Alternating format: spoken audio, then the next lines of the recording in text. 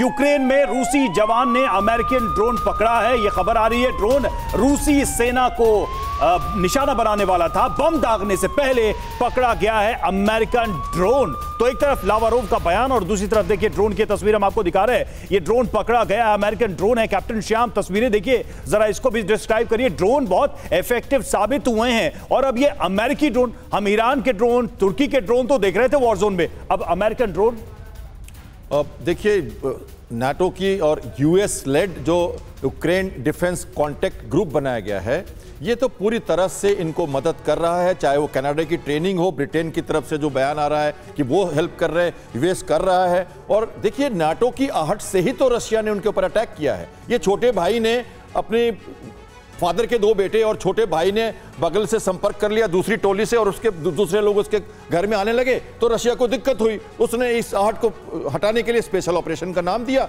और ये युद्ध शुरू हुआ। ऐसे वो कहता है ताकि लोगों को मोबिलाइज कर सके।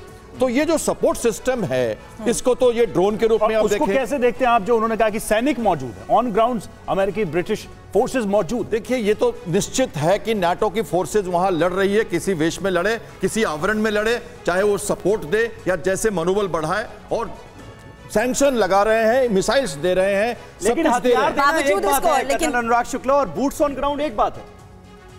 बिल्कुल मारियोपोल की लड़ाई में आपने देखा था बहुत सारे विदेशी वेस्टर्न सोल्जर पकड़े गए थे अगर आपको याद होगा आज से तीन महीने पहले। तो ये सच्चाई है वेस्ट पूरी तरह से इन्वॉल्व है डायरेक्टली और इनडायरेक्टली दोनों तरह से इन्वॉल्व है और इस चीज़ को नकारा नहीं जा सकता। ये जो ड्रोन पकड़ा गया है इससे दो चीज़ें पता चलती हैं। एक तो presence of US forces second thing की जो रशिया की टेक्नोलॉजी है रशिया भी अपना टेक्नोलॉजी इंप्रूव करता जा रहा है but Shukla sir sorry to butt in तमाम हालात को देखते हुए ये नजरअंदाज नहीं किया जा सकता कि ग्राउंड रियालिटी क्या है।